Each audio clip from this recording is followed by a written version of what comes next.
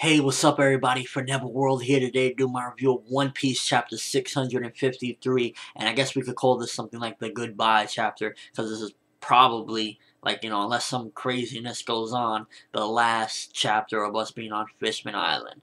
They finally set sail for the new world at the very end. And basically, this was just kind of felt a little chilled more or less like the usual One Piece when they're leaving an island, the goodbyes and everything. I hope to see you again. Um, I felt a little bad for Shirahoshi because she's a big crybaby or whatever, and you know her saying goodbye to Luffy and wanting to promise. I it made me feel bad for the character because at the end of the day, as giant as she is in size, she's still just a little girl and you know crybaby or whatever. So I felt bad for her. And Luffy is like keeps on joking weak Hoshi, but he promises her that uh, when he gets back, he'll take her out again. And I really like that because Luffy, he for a pirate, he has a pretty good heart, so um, you gotta respect that. And you know, just a chapter, everybody's just really for the most part, just saying goodbye. But we do learn one particular thing in this chapter, and it's about the log post. It's very different for the new world, and I was quite interested in it because it adds a little bit more detail and dynamic to the adventures now. Now it's not just a log post that kind of every once in a while screws up, but for the most part, it's accurate. Now it's like it has three different directions, and one of them could lead you to danger, and basically a good uh, guide or a good, you know, Nami's job is now going to be very vital. She's going to be on her toes, and she kind of didn't want the responsibility because it kind of seemed frightening.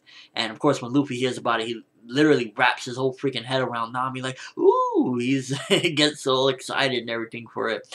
And I, I really want to see where this goes because this is going to make the journey even more crazy and it's going to of course at the same time as it's kind of plot points you could clearly see Oda setting up plot points to make the go a lot longer because now not only do they got to get to the islands and everything, they got to go to different ones. Um, this directional pad, instead of taking them to the exact islands they want to go to, it could take them to an island they don't want to go to, or Luffy dragging them. No, I want to go to the danger. So um, it's gonna drag out the story definitely a lot longer. Not that that's a bad thing or anything, because for me, I more One Piece is always a good thing to be honest with you.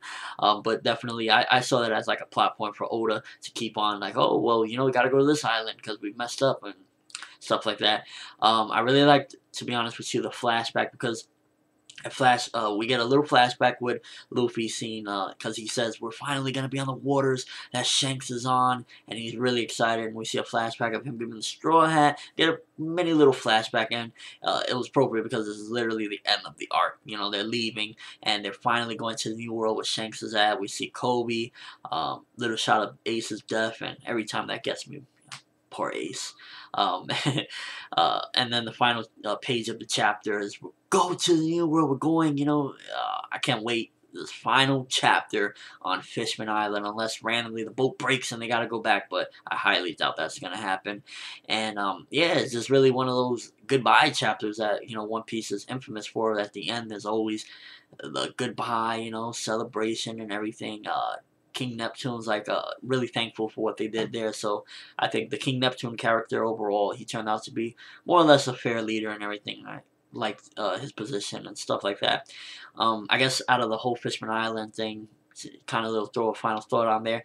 Um, the character that will be most memorable, or the couple of characters, uh, Madame Shirley with her dramatic reaction and something that'll probably carry on later onward, that Luffy is going to be the one to destroy Fishman Island. I'm sure this is something that Oda's going to hold on to and then eventually, like maybe when a war breaks down, he's gonna destroy it or something. This is something Oda's gonna hold on to and plan it for later. We're gonna forget about that whole Madame Shirley thing in time, and it's not gonna be anything, you know, not gonna think none of it. We're gonna think, ah, you know, it was whatever, but that's gonna come back in time. Mark my words. Uh, chapter 653 ForneverWorld said it first. This is gonna be a huge plot point for later on, and we're gonna forget about it. One of those things where Oda set something up for something a lot bigger than just the Fishman Island arc. So um, I'm pretty sure. I Look forward to that.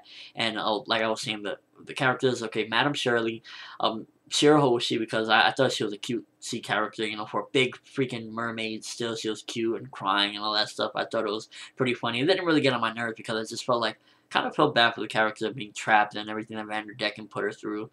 Um, and Hody Jones, you know, taking her mother away and stuff. So I felt bad for the character. Definitely, those would probably be the two main ones. And then, of course, the villains, Vanderdecken and Hody Jones, I, I guess will be memorable. Like, you know, the leads of this particular arc.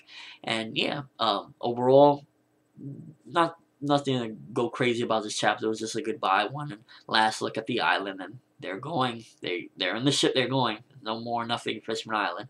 Uh, let me know what you thought of the chapter. Um, exactly which characters you think will be the most memorable for you from Fishman Island. Will it be Shirahoshi, the actual villains, Hody Jones and Vanderdecken, even though they were kind of corny, but you know, they did what they tried they tried to do what they could. And you know just the overall thoughts of this chapter and one last look at fishman island. But that's all i have for you guys today. Thanks for watching. Hope you enjoyed.